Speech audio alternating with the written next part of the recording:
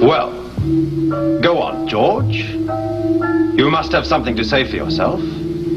Tell us why you were pretending to be a, what was it, counter-espionage agent. You were lying, I heard you.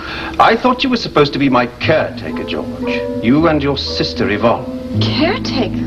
I hired them from an employment agency to take care of the estate during my absence abroad. Is that correct, George? Yes, that's what we were doing. Apparently, you've been doing more than that. He drugged me, look.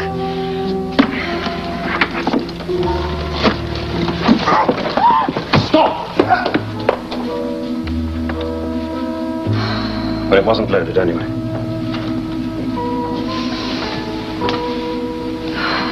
Are you all right? I feel very weak. Don't you think it's time you told me your name? My name is Raven Whitney. Raven. What an extraordinary name. And what an extraordinary face.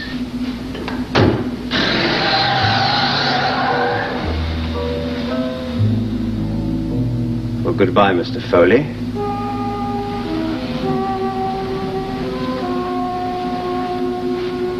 And hello, Raven.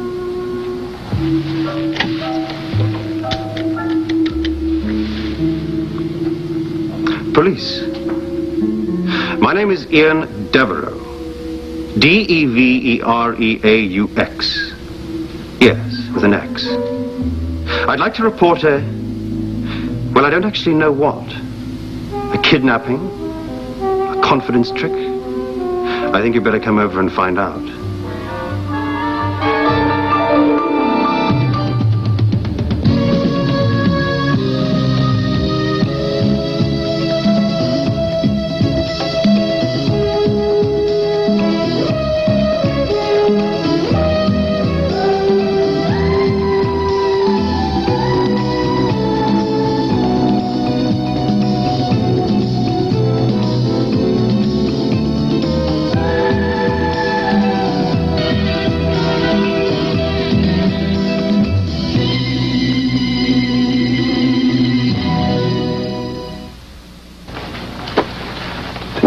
Miss Bryson?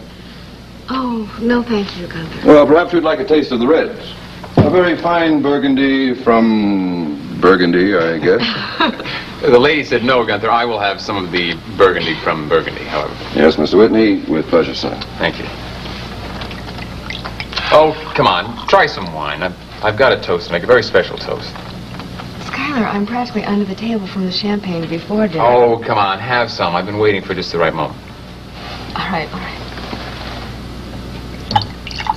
That's fine, thank you. The floor is yours. To the new owner of WMON TV. Oh, Sky, is it true? What Yeah. happened?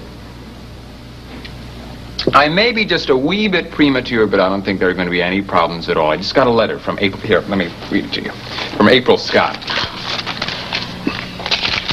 And she says, blah, blah, blah, yeah, I thought that I'd write you directly concerning your offer to purchase the television station.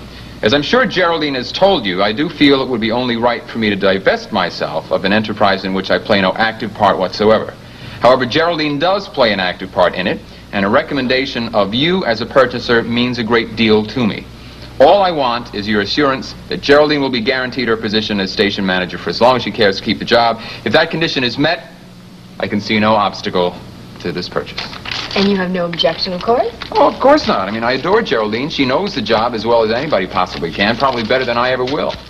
So I want to make a toast to the new owner of WMON. Oh, congratulations, Sky. And I hope that you enjoy it. Thank you. It's just what I need. I need responsibility like this. I need to involve myself in something like this. I need to get away from the pleasures that I've been having. You know, I mean, it seems that after a while, even the joys of spending money begin to pale, don't they? Are you asking me? I'm sorry. But there was a time when you didn't have to worry about money, wasn't there? Yeah, but that was a long time ago. And besides, what child worries about money? It's a grown-up problem. Oh, but you're a grown-up now, and quite a beautiful one at that. You know, there are times when I wish you wouldn't have to worry. Well, This is just the sort of challenge that I need. I need to involve myself. I need to control things. I need to control destinies. Certainly a television station is going to allow you to do that. Just as a newspaper would have. Maybe even more so. Yeah. Especially in the news department. That's where I'm going to involve myself first. I'm really looking forward to it. I'm so terribly sorry about the delay with the salad, Mr. Whitney, but uh, Wilhelmina did not like the looks of some of the lettuce. A lesson in courtesy, Gunther. You come in here to apologize to me. There is a lady present. Uh, yes, I noticed that. Uh, please pardon me, Miss Bryson. That's quite all right, Gunther. Salad looks marvelous to me. Uh, Wilhelmina was wondering if I might not serve Madel the Madeline now. The, I think, I think you mean madrilène. Ma- It's a cold soup. Cold soup?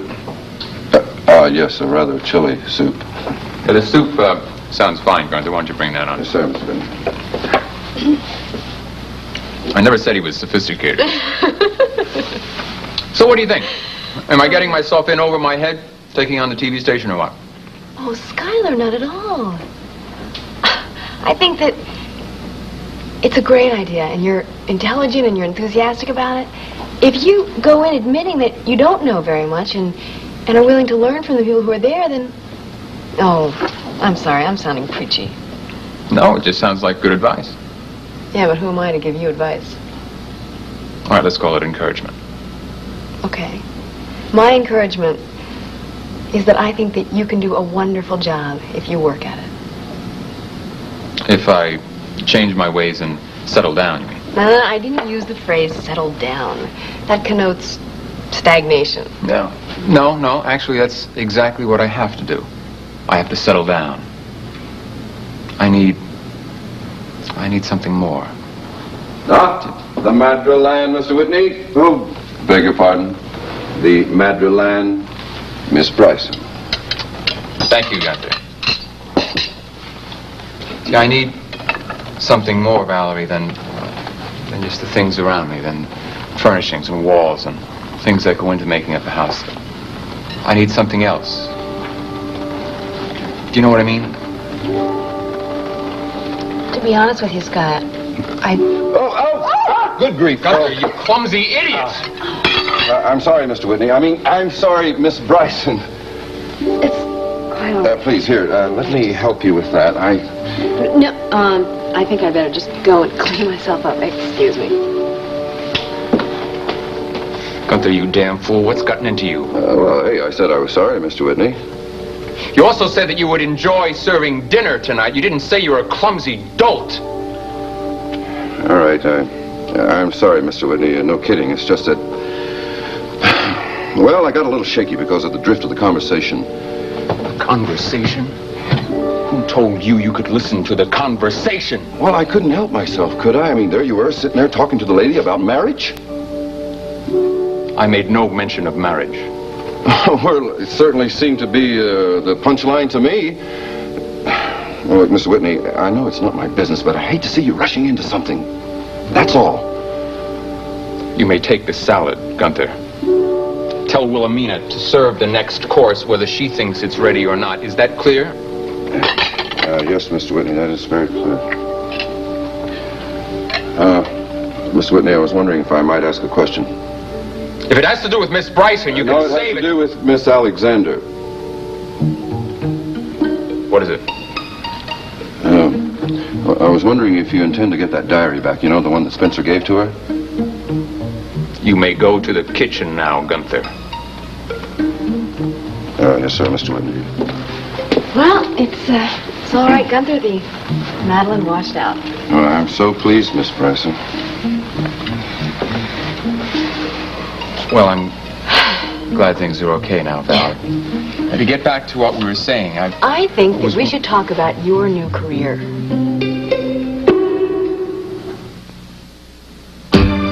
Sounds fine to me, sis. Okay, so let's have it. Is there going to be a hearing or not? Of course, there's always a hearing after you shoot somebody, you know that. Yeah, well, you don't seem to be uh, expecting any great hassle out of this one. Well, there shouldn't be. It was strictly self-defense. And there were two witnesses, including our good friend Eddie Lorimer. Uh-huh. I uh, don't think I'd like the idea of him testifying for me. Uh, maybe, but he's already signed the deposition. Claims that Joe Bulmer robbed him for some getaway money after he shot Chad Sutherland. Yeah, well, supposedly he was actually holding him at gunpoint, at least according to what the chief says. He sure was. He pulled it on me as soon as I walked into the anteroom. Uh, that you got him first, huh? Yeah. I really wish it hadn't worked out that way, but it did, especially after finding out what happened up at the Raleigh Castle. That guy could have answered some questions for us. That's right. Anyway, you know I don't like to use my gun. Yeah, you and uh, most cops. Too bad the public doesn't know about it. I mean, they never hear about all the cops who have to go through psychological therapy just because they shot some punk. See, that reminds me, my hearing with the Internal Affairs Department is tomorrow. How would you like to be a character reference, old buddy? You're taking a chance with me. I know you too well. ah, that's true. By the way, have you talked to Dee Dee lately? I mean, I've sort of been wondering how she's holding up under all this. No, I haven't. Um, she went to see her brother Troy this afternoon. I thought I'd give her a little space before I get in touch, you know? I'm sorry to be so uninformative, officer, but there's really very little I can tell you about the situation. And all I know is that this guy Foley took me here and did horrible things to me. Oh, Blake, I'm glad you're here. Is this... Yes, it is. Chief Derek Mallory, Monticello Police Department? Chief, I am honored. Why do I rate such attention? Derek! Raven. Oh, I think I understand. What is going on here? I heard you were in trouble again. Isn't it insane? What is it about me that attracts all these lunatics? I don't know, Raven. I don't know. Excuse me. You are Ian Devereaux? That's correct, and partly responsible for the lady's trouble, I'm afraid. Oh, how is that? Well, for one thing, this is my house, and the people who brought her here were in my employ. Wait a minute. Are you saying you hired these people? Well, not to kidnap and abuse beautiful young women. All I asked them to do was to look after the estate while I was abroad. The rest was strictly their own business.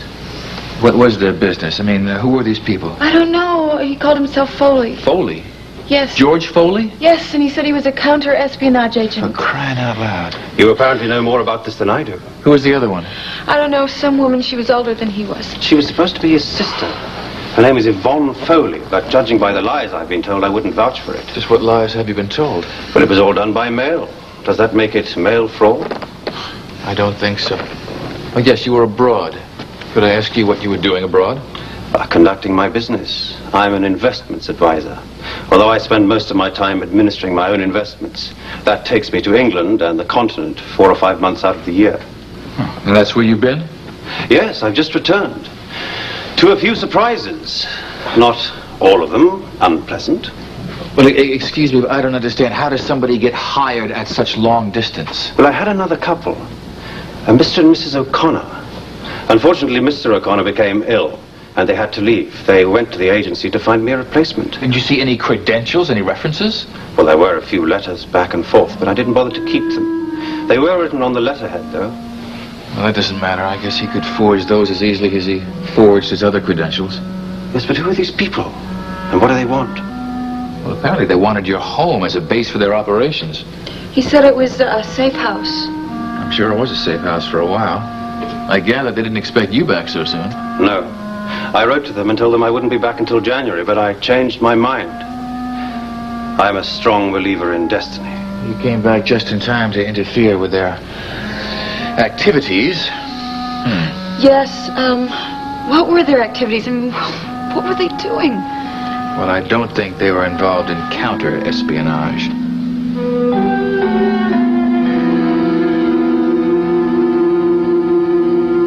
Box, but neither did Sky. Neither of us could get in unless we had both keys.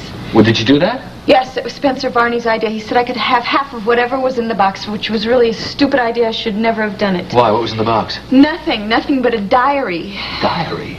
Jefferson Brown's diary? This could get interesting. No, it wasn't interesting at all. There was hardly anything in it, just a few entries that he made before he became Sky Whitney. What did it say? Where is it? I don't know. You don't know? What, what, what do you mean you don't know? Which question are you answering? Both. I don't know. I couldn't understand a thing what was in the diary, and I don't know where it is now. Where'd you see it last? Um, the man Foley had it, but that's why he brought me here because he thought I knew what it meant, but I didn't. What kind of entries were in it? I don't know. Things like numbers and letters of QZB99, you know? Some kind of code? I guess, and he thought that I could tell him what it meant, but I couldn't. It was just awful. They they gave me this truth serum, and It's I just... all right. It's over now. It's over. Excuse me, is there anything I can do? No, no, Come in, please. I was wondering if I could help in any way. No, I will be taking Miss Alexander home, I think. Now, don't you think she's a little weak to be moved just yet? I am. I'm very tired. I think I could sleep for a week. Perhaps we should call her husband. Husband? What makes you think I'm married? Oh, but I thought you said... Sorry, my mistake. Well, if you have no husband to answer to, perhaps you'd like to stay here until you're feeling a bit better.